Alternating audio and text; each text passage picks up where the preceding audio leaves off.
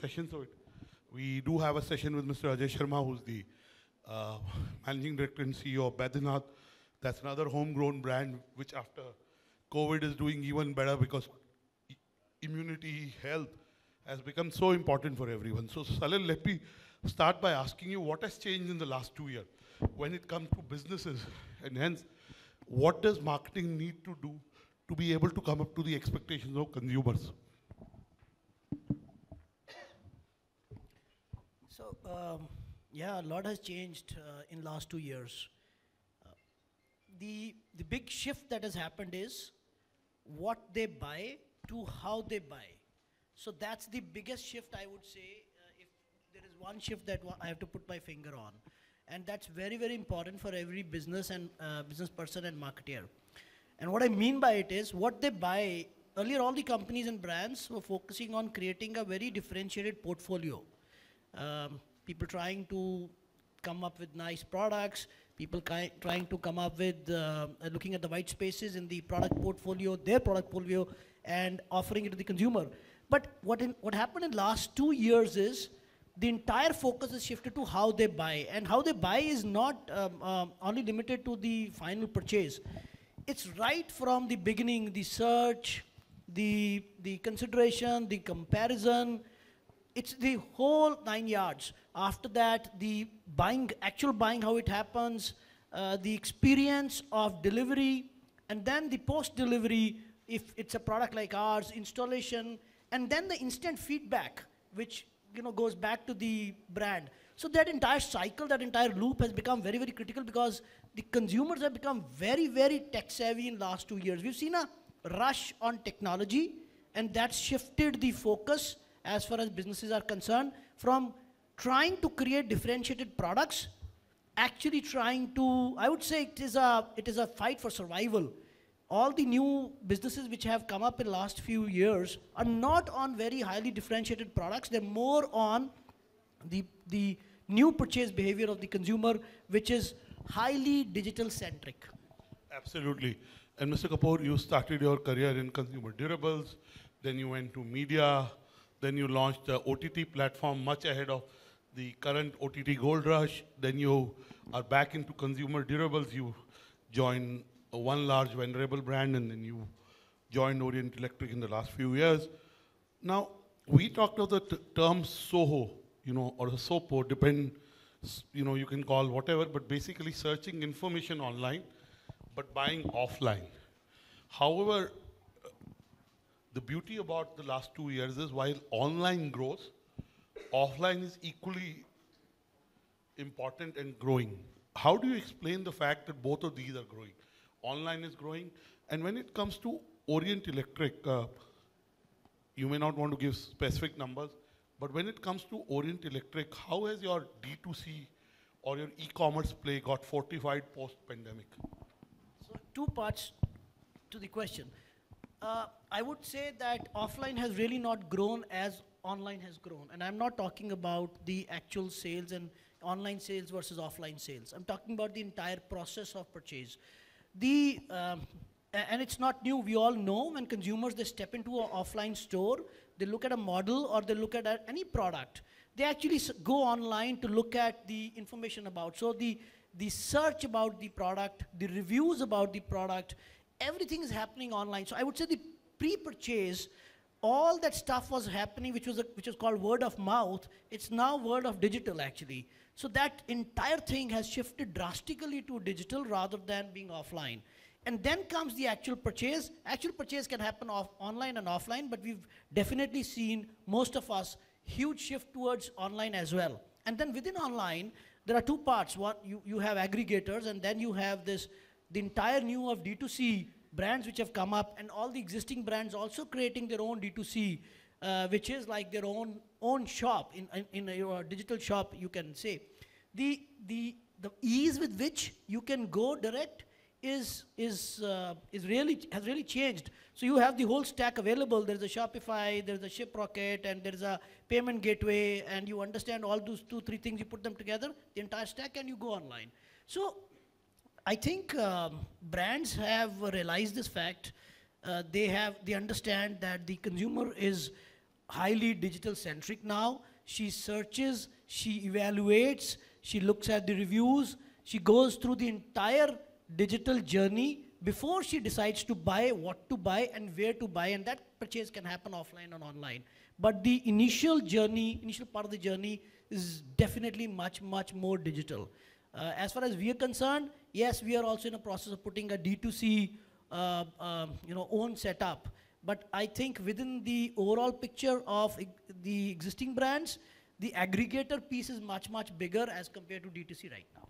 And Salil, if I may ask, I see you advertising big time on television, and I recently read an article about 45 days back, so not in the Harvard Business Review, which said uh, it was a beautiful article. I sent it to some of my media owner friends, and it said how in the U.S. Uh, mainstream media is coming back with a vengeance.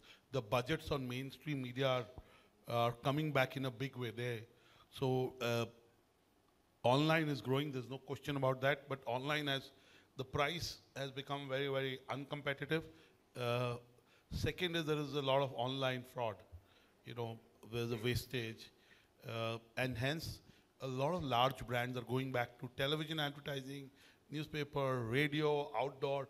They have shifted their budgets from online to mainstream media. And i see orient electric uh, doing tv advertising. What is your uh, view uh, being at the helm of affairs at Orient Electric in terms of how brand building in media has got impacted in the last two years? Mainline media, uh, traditional media, legacy media, whatever you call it, has always been there. So if you look at our own homegrown uh, digital brands, uh, nobody can miss that they really went big uh, on TV. Uh, be it one of the largest payment platforms or be it one of the largest edtech companies, they're all digital brands. Not only they are digital brands, they are setting up offline retail. So the EdTech brand, if I get, I know what you, they are setting up B2C physical counseling centers. And other edutech brands are also setting up physical centers. So, you know, while you talked about physical retail not growing, there is a touch and feel in this country which is not going to go out of fashion that soon. So uh, uh, this is not going to be the digital part versus the physical part. It is going to be a omni-channel. And the degree of it will vary category to category, product to product, industry to industry. I think the marketeers will understand it. They already do. And their understanding will increase over a period of time when they have data in their hands where the interaction and where the conversion is happening much faster. Uh, that will decide which way they will go. But both the both the forms and both the offline and online will coexist. Uh, coming back to your early quest- earlier question that uh, will it be TV or how it's TV versus how the brand building is, I think TV in India still has that scale.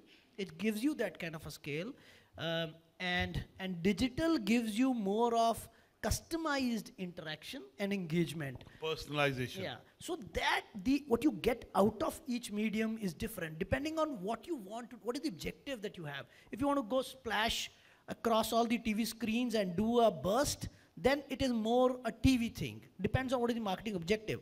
If you want to build up the engagement and it's more gradual, you, you can't do bursts on, on, on digital. That doesn't work. And long-term brand building on digital, that also one may question. And I'm not saying, of course, digital has to be part of the plan, a large. But again, there is lots of studies saying, um, and forget the studies. Look at all the unicorns. They spend money on IPL and TV advertising during IPL. So clearly, TV is not going anywhere, right?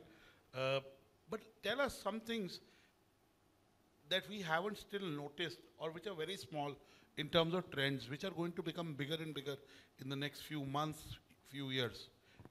So I think there are there are niches to look at as far as media is also concerned. Uh, a recent example, uh, what I can quote is there's a there's a there's a service called MyGate. Uh, they they try to integrate into all the high rises, and they have a penetration in a lot of uh, apartment complexes across the country.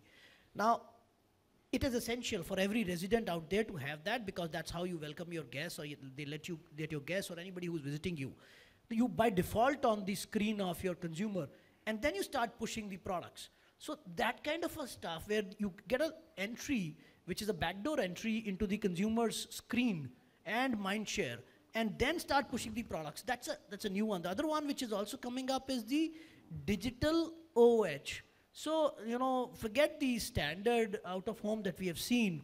All the screens which are being put at various offices, restaurants, and apartments imagine all of them connected somewhere with a common service and at one go you have one campaign or one ad or one product showing across the country in all those areas. Now these are the new things which will develop and i think technology can um, you know help us scale any small thing to whatever level that we want to. Uh, this is the kind of a personalization this is a kind of scale that can be built up with help of all these new things which are coming out of the picture. So all the old traditional media will also get digitized so I, I'm actually wondering when will we have the roadside out of home uh, across the country lit up one day showing one particular brand on every road. That will be the kind of uh, new thing which somebody centrally will control it. So, so this is something that we are going to see now coming up, and I think a lot of people are working on such things. Now, let me ask you, uh, you worked across sectors. How are leaders, business leaders, and I said marketing is about growth, and marketing is business, you know. If marketing creates growth, then marketing is business. Tell me, what are leaders doing to be able to make themselves relevant in this post-pandemic scenario? Uh, it's been a, it's, I think it's been a tough journey for all businesses in last two years. Uh, there have been multiple challenges. Uh, whenever the demand is high, there were supply chain issues, and for whichever sector there was no demand, uh, they had some other issues of survival. So I think all the businesses uh, were trying to cope up with one or the other challenge. I haven't seen any business which said that we did not have any challenge. So if the demand, like you know, last two years, the consumers have really focused on themselves and their homes, be it their education, be it their looks, be it their uh, uh, what they needed in their house to you know improve the house. So most of the stuff went there, and now when things have opened up, most of the stuff has shifted towards travel and other experiences because they, they didn't step out for a long time. So wherever they went, there there has been a supply chain challenge for whatever has been going across the world in the last two years. On the other side, there have been businesses which were totally challenged because things were shut down, and uh, whichever were more dependent on the physical presence, those businesses didn't happen. So mostly, uh, uh, you know, the uh, I don't want to mince the words, but I think it's been a survival issue for all the businesses across the world. So people are trying to, all the leaders are trying to cope up, understand. And then within this, there's been a big shift of consumer. Uh, the way she buys, the way she interacts with the brand, the way she wants the brand to attend her, that thing has also shifted, uh, more digital. So um, it, it wouldn't be wrong to say that the marketeers and the business leaders are actually coping up. The customer is evolving faster than the businesses thought it would. And Salil, the average age of CEOs and CMOs across the corporate India is coming down.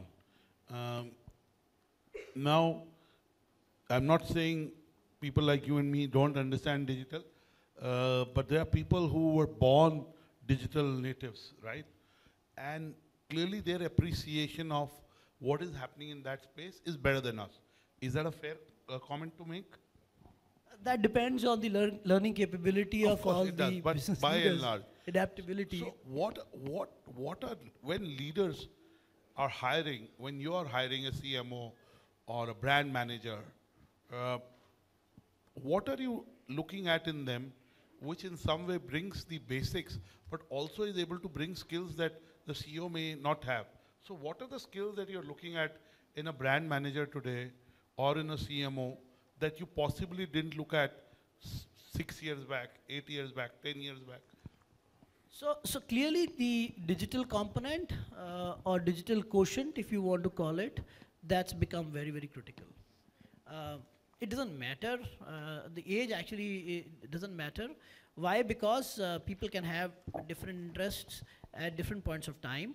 But yes, definitely the digital native, as we call them, uh, that generation certainly has an edge because they're actually using the product. See, the, the learning comes more from the using of the usage of the product. So I think all the marketeers, the CMOs, uh, it's no longer just a CMO, it's a CDMO. So you know you have a digital angle uh, which is thrown in, And that's very critical for your understanding because that's how you're going to engage with the consumer. So if you don't know how the consumer engages with your product, with your brand, uh, then it's going to be a tough one. So I think that component of the overall capability has definitely grown in, in terms of uh, share within the overall capability of the individual. My last question before I take two audience questions. So keep your questions ready if you have any for Mr. Kapoor, and I'll bring you in to ask the question. Salil, if you have to make three predictions for the future, what would those be? Especially in the context of business and marketing. Uh, if we met 12 to 18 months from now, what would have happened? Uh, give us three trends, even if you don't want to call them predictions. So, uh, uh, what is happening already will further gain momentum. Uh, however, uh, we will see much more stuff happening on personalized products right now, which is more on personalized media and engagement. So, I think 3D uh, is uh, um 3D printing is is something which is uh, which is pretty underrated and underused right now. It'll definitely grow.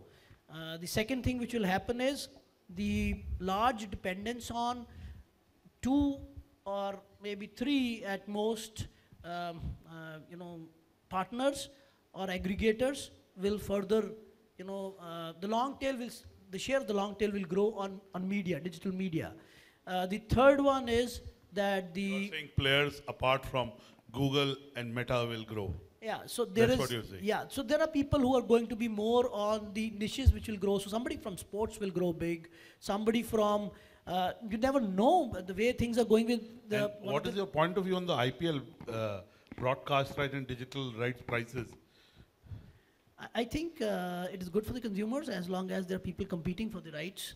Uh, and I'm sure the value is there and they will, uh, it's going to be tough, but I'm sure there are marketeers who will bite into it. Uh, the third one, That's a very diplomatic answer, You're my friend, so that's why I can ask you. I know you stay away from controversy in every way, but uh, you know because you've been, you were with LG. You've seen how LG built the brand in a very short by burst of advertising. Cricket was big. Uh, then you were the D, you were the CEO of DTH uh, business at Dish TV. You worked at Voltas. Now you're here. Uh, clearly you know understand media and you understand the rights uh, i i was writing a piece and i didn't write it eventually on the cricket rights uh, and i texted ashish Bhasin and he said anurag cricket pe to kabhi hindustan mein paisa lose hota hi nahi koi bhi value pe so that's the view of somebody like ashish Bhasin. So i said there has to be some merit if he's saying that. So clearly uh, some people mirror the view you have shared but some people view that this is just good for BCCI.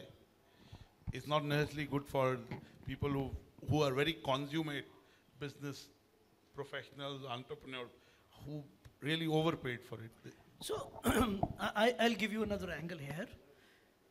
I feel that uh, uh, the, the cricket rights, always when they're sold, every year they're sold at a much higher price. And every year we all feel that it's beyond the reach of the marketing, uh, uh, uh, marketing budgets that a lot of marketers have. But every year they turn out in profit. FOMO. Uh, FOMO so, driving. Yeah, so, uh, and every time there are people who will, who will bite into it, and I'll tell you why, because it's not one brand which is going for three decades or two decades. Earlier, there are brands where, you know, you mentioned where I have worked, and, and we would go and compete. Then there are brands which came into some other category, and then the digital brands. There's a lot of VC money, there's a lot of private equity money which came in, and you saw all the digital brands spending the money. However, I see a little lull in, in a year or two, and that could be only not that the marketers don't want to spend the money and they don't see value. Of course, they see the value. The kind of eyeballs it generates, nobody, nothing else can. The only lull which might come is because of the the cash crunch, uh, which is temporary, probably a year or year and a half liquidity stuff, and which is because of you know global liquidity issues and inflation issues. So that could spoil the party temporarily. However, in the long run, it's never expensive. Okay, uh, we'll take two questions. If there are any question, Ankit, you want to ask Salil any question? Can we get a mic to Ankit? He's not a loud Punjabi from Delhi. He's from Bangalore. Yeah, you. It's better. Uh, so, Salil, I think uh, on the last point which you have raised around liquidity, which I think uh, is uh, it's a fact now. Uh, but uh, while you said party is over, but I think don't you think And I, it's I never said party is over.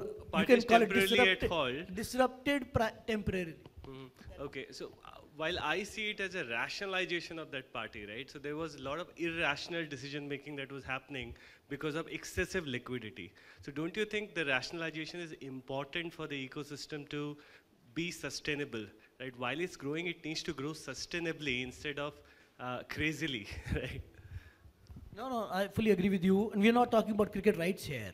I was talking about that party. This one, uh, the other one that you are hinting, is also temporarily disrupted uh, because um, it will it will separate, as they say, men from boys, uh, more stronger business models from the ones which are only dependent on cash burn, uh, which is good. Uh, and this is always the time to build up stronger, fundamentally strong businesses, right? Uh, but it's the, the, the, you know, you know that things swing to extreme. When 2008 happened, 2009 was a bumper time. And nobody at 2008 time thought that, that. it will happen in six months, one year It will time. come back so fast. So, you know, the, the, the community, the, the, the bankers and the, and the financial community always swings to extremes. Very optimistic, very pessimistic. So you don't know when it will swing back. I think same happened during the COVID uh, downturn as well. Exactly, exactly. We all wrote off things, and suddenly things came back in one quarter. So, See, one thing I'll tell you, uh, India is going to grow. There is no question. And uh, of course, the government can play a positive enabler, uh, but it will grow. It has natural traction. Yeah. It is a market which is the biggest market. It has an aspirational consumer. Uh, the digital transformation in the last two years has been accelerated by at least five, if not 10 years. And you know, again, I must tell the audience, Ankit uh, is from Bobble.ai and he applied for Business World's 40 under 40 awards. And there's a reason I'm mentioning. And he won, of course. And I was sitting in the jury and you know, one of the jury members post, everyone's presenting this, uh, asked, we discussed the person who presented. And he said, you know, Bobble.ai is possibly a zero to one company. yeah. Either zero or one if you know that concept. But Peter thinks it'll be very big because you're trying to change the basis of a business, right? It's a new. So clearly for the first time, look at UPI. You know, I used to say that in India we don't build product companies. I mean, UPI is a product company for, I mean, right? Look at ONDC, read the latest cover of Business World. Uh, we have four pioneering people on the cover and who in various streams are doing a scale which is huge. ONDC will be the UPI of e-commerce. So I think in India, finally the scale for everything is bigger. So that will sustain, in my view, the numbers possibly. Uh, so that's my view. Uh, one more question, if there's somebody has a question.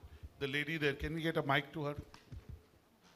We have Mr. Ajay Sharma of Baidyanath post this, uh, and I'm sure it'll be in a way, it will be an exciting session. Tell us what is your name and what company do you work for? We don't know about how much money in your Swiss bank account that you can tell us privately. Hello, Mr. Batra. This is this is Kamna Hazrati. I started my career with you with Style Candy. Uh, Oh yeah, you're Kamna, you're right, right, right. catching you're- up after 13 Yes, years. yes, yes. Good Now I, I can, yes, I am meeting you after eight, ten years, so yes. 13 years, sir. 13, yes, that's why I don't. But good to you. Texted me the other day about the link not working, right? Yes, sir. Yes. Finally worked, and I am finally. Yes, I sent it to Tanvi or somebody in the team, yes. Go ahead, Kamna, go ahead, ask the question. Uh, hi, Mr. Kapoor. Uh, so, you know, in your conversation, you were hinting quite a couple of times that it's, it's, it has been a tricky time for all the marketeers, um, you know, how things have changed uh, in the last two years. You were also hinting how, uh, you know, how the women are purchasing now. So, in your field, uh, I understand the shift from offline to digital, but could you please hint more on, you know, uh, do you see, is this a shift on maybe price wars? Do you see there is more local brands? Uh, India has also awakened up to you know local made in India brands. So we are nowhere you know no more uh, just buying maybe a Reebok or a or a Nike. We are also happy to buy a Campus Sutra uh, or a Campus shoe, right? So. Uh, in that case, you know, what, what all do you think, like not only just the shift from offline to digital, but also, you know, maybe more nuances or maybe more details into it of how do you think that that shift is really happening? As, as I said earlier, that shift is not only significant on what people are tracking usually, which is the purchase, actual purchase offline versus online. I think the initiation, the development, the comparison, the evaluation, all that is very, very critical for every brand. I think it's more critical, and that has shifted drastically to online because everybody has. Uh, a, a, you know, a device in the hand throughout, and we spend our lives more with this than with anything else. And um, uh, I was looking at. I hope not. you do. So, so, so, so that throws a lot of data, and that's the way you make a lot of decisions, right? So this is this component is very critical for all the marketeers because the entire evaluation and selection and everything is happening while the consumer is going through the digital journey. That component has really not sunk in so deeply because uh, all the stuff that you want to promote offline is, a- is actually getting shifted to online. That is going to be more important. And of course, we will have the homegrown brands, and there'll be various other things which will come up. More and more, uh, the the I would say the integration and getting digital into our lives is already happening, and that will continue. That degree and that quotient will keep on increasing. Okay, uh, I think Mr. Salil Kapoor, I must tell you, Salil, I do spend time on the phone. Um, I haven't, I've looked at my phone only once in this whatever time of conversation. And since my friend Mr. Ved Shukla spends much more time than me on the phone, I feel very happy. I spend much lesser time than him. Though I try not compare, but, but you know, on a serious note, uh, I think all, we started exchange4media 21 plus years back to build a B2B e-commerce company. And my vision at Style Candy, we closed it with not our lifestyle to be up in the night after 11 p.m. Uh, mostly. Uh, but I told you that fashion e-commerce will happen. And you know, when I started at 13, if we had persisted, it possibly. But we feel in exchange4media to the time to build a B2B e-commerce business. exchange4media is called exchange4media not because we wanted to build a media business, because we were building a B2B marketplace for media, for buying and selling of media time and space. And we were pretty ahead of time 21 years back. Uh, but I tell Nawal the time to build it is now. One, we have relationships with every stakeholder. Uh, second, I think the time in the environment is there. So the whole, we had envisaged the whole value chain. कि research का भी हमने TAM से tie up किया कि if you want to run a research spot, you can do a SaaS, you pay only for that spot. You want to then buy, you want to do fulfillment. Because just to give you, just so I think in e-commerce there is natural traction. Today, you know, my parents were 80 plus search, you know, and then they get someone to buy.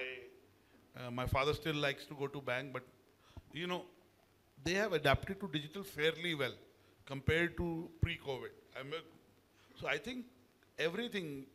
I'm trying to recruit someone. I'll go up, go to LinkedIn, see. I'm trying to buy something. I invest fair bit in angel investing, and you know, I try to find out about the product reviews. I go and see kitne product review. I invested in a coffee company called Beanly. You know, I, again, I like the product and I know the founders, so I did. But I look at online has become a very important part, you know, uh, of everything we do, to taking feedback.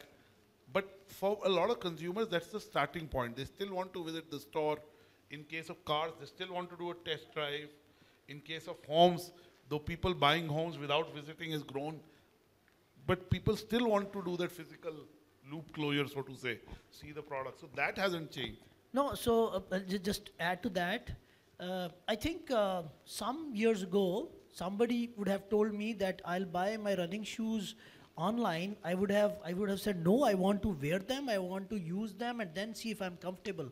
But now I buy online. I never thought fashion will be really big online, where people just order Yeah, stuff. there was a site called boo.com. Those were in 21 years back in UK. It shut down. It was the first fashion website. Uh, it shut down for business reason, and maybe it was also ahead of time. But I think cars. I used to say touch and feel product to picking any. Kapde to online picking any. I used to say quote B boo.com example. We're wrapping up. Yeah, but so cars and and even the homes one day with all the VR being thrown in. If you have a trusted builder and if you have a good quality VR, you might not want to visit. Yeah, it is growing, as I said. So please give Mr. Salil Kapoor a big round of applause. I don't buy sports shoes. I like my friends to gift me sports shoes. Sure. I have a friend from my school who's the CEO of a the best shoe company the most expensive shoe company. He's actually Nawal's classmate. He's two batches junior to me. And so, you know, I always wait for him to gift me shoes. So uh, that's a cue to you, Salil. You have a consumer durables brand. So thank you. I must say thank you in advance. But give Mr. Salil Kapoor a big round of applause.